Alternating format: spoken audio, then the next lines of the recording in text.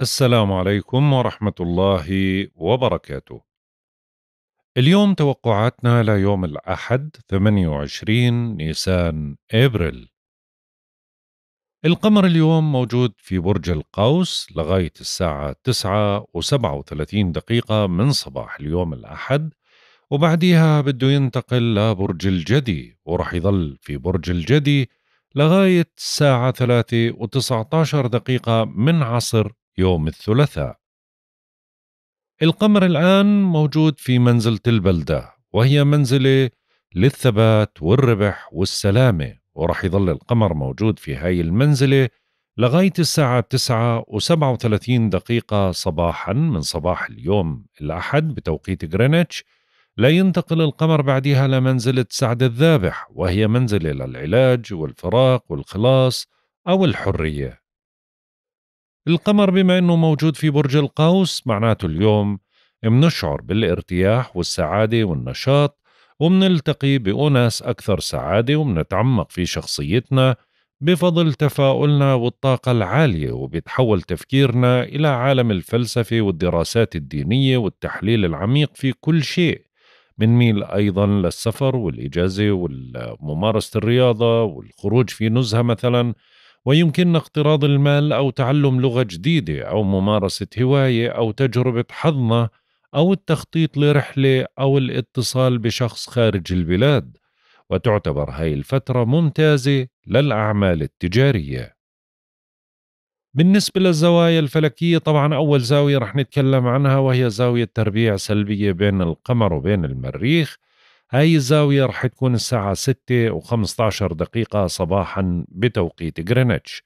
بتخلق لدينا شعور بالملل من أي عمل روتيني فمنكون بحاجة للهدوء والتحلي بالصبر في أي مسعى منقوم فيه. يفضل أخذ فترة من الراحة لاستعادة نشاطنا من جديد واللي بيكون محبط عاطفيا بثور ثورة عارمة من الغضب. تجعلنا عدوانيين كثيرين الصمت. وبرضه تجعلنا يعني شوي حساسين زيادة عن اللزوم وخيالنا خصب جدا بالأمور السلبية يعني موسوسين وشكاكين وغيورين أشياء من هذا القبيل. وهذا الشيء بيجعل الخصومات مع النساء يستحسن ألا نقوم بأي عمل مهم ونحاول أنه نخلد للراحة. هذا التحول مضر جدا للصحة وخصوصا الصحة النفسية. أما بالنسبة للزاوية التي تليها وهي زاوية تثليث إيجابية بين القمر وبين الزهرة هاي الزاوية رح تكون الساعة 6 و 56 دقيقة صباحا بتوقيت غرينتش. بتأجج العاطفة اتجاه الجنس الآخر وبالتالي بننجح بتعزيز العلاقة معهم وبتعطي دفعة للعاملين في المجال الفني والتجميلي والديكور فبيتحسن عطائهم وإبداعهم. بتزيد من خيالنا وحبنا ومودتنا وتفاؤلنا وبتسمح لنا إنه نعيش أوقات ممتعة جدا. أما بالنسبة للزاوية التي تليها وهي زاوية تربيع سلبية بين القمر وبين نبتون هاي الزاوية رح تكون الساعة 7 و30 دقيقة صباحا بتوقيت غرينتش تجعل بعض الأشخاص يجنحوا إلى العيش في عالم وهمي من نسج خيالهم بعيد عن الواقع وبتجعلنا غير عمليين في تصرفاتنا وبنعتمد في مشاعرنا على مشاعر الآخرين. بعد هاي الزاوية مباشرة ببدأ عنا خلو المسار للقمر السلبي اللي رح يبدأ الساعة 7 و30 دقيقة من صباح اليوم بتوقيت غرينتش ورح يستمر لغاية الساعة 9 و37 دقيقة صباحا بتوقيت غرينتش. هذا بيعني أنه الفترة المذكورة لا تصلح للبدء باي عمل جديد أو مهم مثل توقيع عقد أو خطوبه أو زواج أو شراء شيء ثمين بل إكمال العمل اللي بدأنا فيه قبل خلو المسار. الساعة 9 و37 دقيقة صباحا القمر بينتقل وبيستقر في برج الجدي. نصبح أكثر عقلانية نحكم العقل أكثر من العواطف في حل جميع مشاكلنا وكل ما يؤرقنا ومندرك إنه الأمور ما بتكون سهلة بالنسبة لإلنا فعشان هيك ما بنعتمد على الحظوظ وبعضنا بيكون متشائم علينا أن نعمل بجدية أكبر وألا نعتمد على الحظ يمكننا بدء عمل جديد أو الاهتمام بشراء قطعة أثرية أو اتباع نظام غذائي أو متابعة كل ما يتعلق بشركات التأمين. بالنسبة للأعضاء اللي في جسمنا الأكثر حساسية واللي لازم نوفر لها العناية الإضافية خلال هذا اليوم وما لازم إن نعمل عمليات جراحية كبرى إلا إذا كانت اضطرارية. طبعا من الآن وحتى ساعات الصباح عندنا الكبد والعجز عظم الفخذ عظم آخر العمود الفقري عضلات الورك ومفصل الورك والفقرات القطنية والعضلات القطنية. أما من ساعات الصباح وما بعد بصير عندنا الركبتين والمفاصل العمود الفقري وعضلات العمود الفقري والرضفة والعظام والأسنان والأوتار والأربطة والجلد والشعر والطحال وجهاز التوازن. هاي الأعضاء الأكثر حساسية بتكون خلال النهار. طبعا ما بنصح زي ما حكينا بإجراء العمليات الجراحية ولكن باقي أعضاء الجسم ما في أي مشاكل لإجراء العمليات الجراحية. مناسب هذا اليوم لعمليات التجميل ولكن بدنا نحذر إنه زي ما حكينا إنه الجلد والشعر هم أكثر حساسية فإذا بدنا ننتبه من هاي النقطة.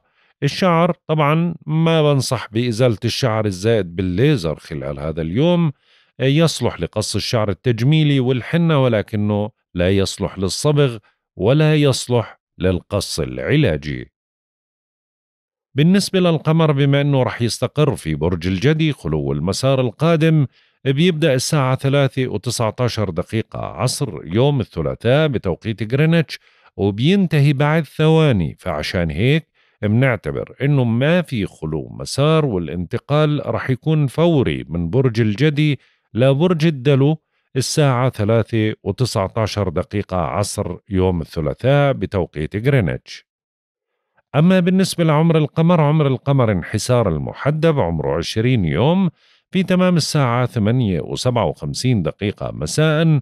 من نبدأ في اليوم الواحد وعشرين نسبة الإضاءة 76% أما بالنسبة لمزاج الكواكب وطباع الكواكب لهذا اليوم الشمس في الثور حتى يوم 20 خمسة سعيد بنسبة 60% الآن ساعات الصباح سعيد بنسبة 85% القمر في القوس ورح ينتقل في ساعات الصباح لبرج الجدي ورح يضل في الجدي ليوم 30 أربعة منتحس بنسبة 10% الآن ساعة المساء بصير سعيد بنسبة 15% عطارد في الحمل حتى يوم 15 خمسة سعيد بنسبة 15% الزهرة في الحمل حتى يوم 29 أربعة سعيد بنسبة 15% المريخ في الحوت حتى يوم 30 أربعة منتحس الآن بنسبة 5% ساعات الصباح منتحس بنسبة 10% المشتري في الثور حتى يوم 25 5 منتحس بنسبة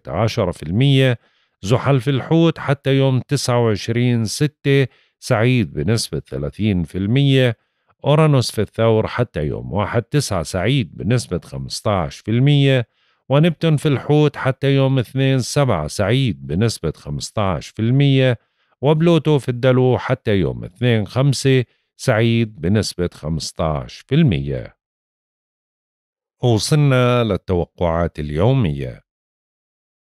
برج الحمل. بالنسبة لمواليد برج الحمل طبعا بظل النشاط في مجال الدراسة والسفر والاتصالات لا سيما البعيدة والعلاقة مع الأجانب والحوارات والنقاشات وبظل في نوع من أنواع الشعور بقوة العاطفة وتجاوب أحبائكم معكم لغاية ساعات الصباح. أما من ساعات الصباح وما بعد بينصب اهتمامكم حول عملكم ومصالحكم الاجتماعية أهم شيء إنك ما ترتجل المواقف والتصاريح عشان ما تقع ضحية الفوضى وعدم التنظيم. بتضغط عليك المسؤوليات وممكن تواجه أمر صعب ومعقد فعشان هيك بدك تلتزم بمسؤولياتك. برج الثور. بالنسبة لمواليد برج الثور طبعا من الآن وحتى ساعة الصباح بتضل التركيز على الأموال المشتركة أو الأموال اللي معك شريك فيها. بنك ضريبة تأمين فواتير حقوق التزامات أقساط أشياء من هذا القبيل. وبظل في فرصة متاحة لمكسب مالي. مع هيك بدكم تخففوا من النفقات المتصاعدة وبدكم تنتبهوا من النصابين والمحتالين. أما من ساعات الصباح وما بعد بتنشطوا في مجال السفر أو الاتصالات أو اللقاءات. وبرضه ممكن اليوم يكون لك في فرصة تفتح أمامك أبواب تتعلق بالدراسة أو بالاستيراد والتصدير أو حتى فرصة عاطفية أو تسويق نشر دراسات عليا وبتفرحوا لانتصار أو لرحلة أو لمشاركة ناجحة في برنامج ما. عشان هيك تحركوا على مختلف الأصعدة. برج الجوزاء. بالنسبة لمواليد برج الجوزاء طبعا من الآن وحتى ساعات الصباح القمر بظل موجود مقابلكم فبتظل فترة جيدة لتعزيز شراكاتكم سواء العاطفية أو شراكة العمل أو علاقاتكم مع الأزواج. ولكن برضو طاقتكم بتكون ضعيفة فما بينفعك إلا أنه تصبر وتكون مرن اعمل بشكل روتيني. أما من ساعات الصباح وما بعد بتعيدوا ضبط ميزانيتكم ادخلوا التعديل على نمط حياتكم لتتماشى مع الوضع اللي انتو فيه.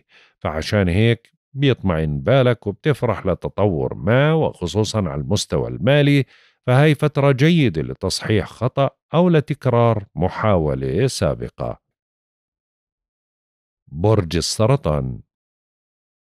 بالنسبة لمواليد برج السرطان طبعا بدكم تنجزوا أعمالكم اللي متراكمة عندكم. طبعا الضغط بلش لأنه القمر باتجاه بيت المتاعب فعشان هيك حاولوا أنكم تتمموا أعمالكم انتبهوا لغذائكم راحتكم صحتكم. حاولوا أنه ما تكونوا عصبيين أثناء التعامل مع الغير. أما من ساعات الصباح فبينصب اهتمامكم حول تعزيز شراكاتكم. حافظوا على هدوءكم وما ترتجلوا الكلام وما توجهوا ملاحظات لأنه خصمكم عصبي وحاد الطباع فممكن تنفهموا بشكل خاطئ وهذا الشيء يسبب مشكلة. في اليوم نوع من أنواع الارتباط المهم بالنسبة لإلك فعشان هيك بدك تحافظ على هدوء أعصابك وما تكون عدائي. برج الأسد. بالنسبة لمواليد برج الأسد تشتد رغبتكم في التقرب من أحبائكم وتعزيز العلاقة معهم وما بيتخلى الحظ المالي عنكم طبعا اليوم لغاية ساعات الصباح بس ما تبالغوا في هاي الأمور. الأجواء جيدة للتقارب مع الأبناء الأحبة أو الترفيه ولكن ما تفرضوا سلطتكم على أحبائكم. أما من ساعات الصباح وما بعد بيبدأ العمل بالتراكم لديكم حاولوا إنه تتمموا أعمالكم خلال هذا اليوم عشان ما تتراكم زيادة عن اللزوم وتضطر للعمل وقت إضافي أو يصير في بعض الأخطاء بالعمل وما تهملوا صحتكم. عشان هيك نقول حاذروا من التعب الصحي أو الجسدي اللي ممكن إنه يمنعكم من أداء واجباتكم اليومية كما يجب.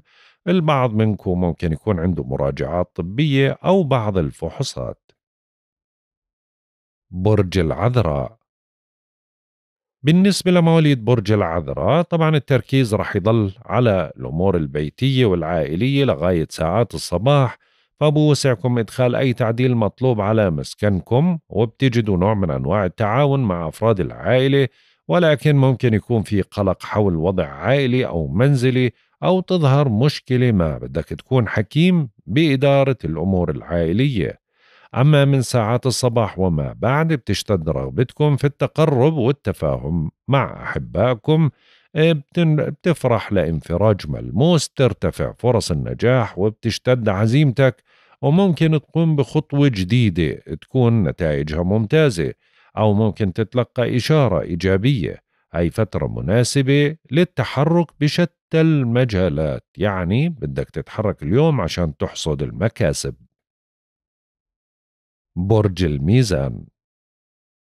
بالنسبة لمواليد برج الميزان طبعا بتنشطوا في مجال السفر والاتصالات والحركة من الآن وحتى ساعات الصباح وبتظل فترة جيدة للامتحانات أو المقابلات ولكن ما بنصح تعتمدوا على الحظوظ وخصوصا في ساعات الصباح. خلي علاقاتكم جيدة وحاول إنك تكون واضح بالتعبير والحوار لأنه ممكن شوي العصبية تأثر عليك. ما حاول إنك تتجاوز هاي المرحلة. أما من ساعات الصباح القمر بوصل لبيت العائلة فبتفضلوا الأجواء البيتية والعائلية لطفوا الأجواء قدر الإمكان لأنه ممكن يكون في بعض الأوقات في ضغط عصبي أو نفسي أو ممكن شيء يثير اضطرابك أو عصبيتك. فحاول تضبط أعصابك وما تخالف القوانين واحترم المواعيد والالتزامات المهنية. برج العقرب. بالنسبة لمواليد برج العقرب طبعا بيظل في فرصة لمكسب مالي. هذا المكسب عادة بيجي من عمل إضافي. مع هيك؟ بدكم تكونوا حذرين في النفقات من الآن وحتى ساعات الصباح. وامتنعوا عن المشتريات الغير ضرورية. بعضكم ممكن يهتم ببعض المسائل المالية فعشان هيك هاي الفترة ما بتسمح بالمغامرات مهما كانت المغريات. أما من ساعات الصباح وما بعد هنا بتكثر عندكم الاتصالات والتنقلات بتصير فترة مهمة للتواصل مع المحيط ولأسماع صوتك. ممكن تقوم برحلة عمل أو تتحرك بمناسبة ما. آه هاي المناسبة ممكن تكون كبيرة أو تقوم باتصالات واسعة تسفر عن اتفاق أو مصالحة. برج القوس. بالنسبة لمواليد برج القوس طبعا ثقتكم بأنفسكم كبيرة اليوم لغاية ساعات الصباح. انتو عندكم قدرة على التعزيز الاجتماعي أو تقوموا بخطوة جديدة دعم من مكانتكم وفي انفراج واضح. ولكن ممكن شوي يتخللك الوسواس أو الشك في بعض المسائل. أما من ساعات الصباح وما بعد هنا بتعيدوا تنظيم ميزانيتكم لا تغامروا بأموالكم لأنها فترة فيها بعض المكاسب المالية اللي بتيجي من عمل إضافي أو مستردات أو هبات ولكنها برضو بتظل فترة حذرة ماليا ومعنويا فما تتسرع باتخاذ القرارات الحاسمة. أنت بحاجة لكل التعاطف والتضامن عشان هيك ما في داعي للعصبية أيضا. برج الجدي بالنسبة لمواليد برج الجدي يجب الانتباه بشكل جيد لصحتكم وعدم المبالغة في إنجاز ما لديكم من عمل متراكم من الآن وحتى ساعات الصباح لأن القمر ما زال موجود في بيت متاعبكم. فما في داعي لحسم أي أمر لأنها فترة سلبية ومخيبة للآمال حاول أنك تعمل بشكل روتيني. أما من ساعات الصباح وأنا بتستعيد نشاطك وحيويتك تستعيد حماستك وممكن تمارس جاذبية لا تضاهى لأن طاقتك عالية جدا حتى بتكون ملفت للانتباه للجنس الآخر. فترة جيدة للبدء بمشروع أو خطة جديدة وبتمتلك الطاقة الكافية للانطلاق بمشروع أو لحسم أمر عالق. برج الدلو. بالنسبة لمواليد برج الدلو طبعا بوسعكم تعزيز صداقاتكم منكم أشخاص ممكن يحقق أمنية بمساعدة صديق ومنكم أشخاص برضو ممكن يشارك في مناسبة أو يتوجه له دعوة لحضور حفل. طبعا حاولوا أنه ما تفرضوا سلطتكم على أصدقائكم. أما من ساعات الصباح وما بعد بتدخلوا فترة غير مريحة تلزمكم بالانتباه أكثر لصحتكم لأنه القمر رح يوصل لبيت المتاعب. فعشان هيك بدكم تتجنبوا اتخاذ أي قرارات حاسمة ومهمة لأنها فترة فارغة وفاشلة. فحاذروا الأفكار السوداء والمعنويات المنخفضة لأنه ممكن تخيب آمالك أو تتأخر أعمالك. برج الحوت. بالنسبة لمواليد برج الحوت طبعا بتظل الفترة مناسبة للأشخاص اللي بيبحثوا عن عمل واللي بيعملوا بينجحوا بالدفع بمصالحهم وبإمكانكم تحافظوا على إنجازاتكم القائمة. ولكن حاولوا من الآن وحتى ساعات الصباح أنه ما في داعي للمغامرات أو المجازفات أو مخالفة القوانين وبرضه ما تشوه سمعتك بأي تصرف. أما من ساعات الصباح فهنا بتلتقوا الأصدقاء وممكن يتوجه لكم اليوم دعوة لحضور حفلة أو مناسبة أو تسعدوا من لقاء الأصدقاء حاولوا تصحيح العلاقات المتردية وما تبقوا وحيدين فترة ناشطة وواعدة دراسيا أو مهنيا أو عائليا. فاليوم رح تكثر عندكم الاتصالات والمواعيد. هيك منكون انتهينا من توقعاتنا لهذا اليوم. والله أعلم. يا رضا الله ورضا الوالدين. سبحانك اللهم وبحمدك. أشهد أن لا إله إلا أنت أستغفرك وأتوب إليك. أترككم في رعاية الله وحفظه. إلى اللقاء.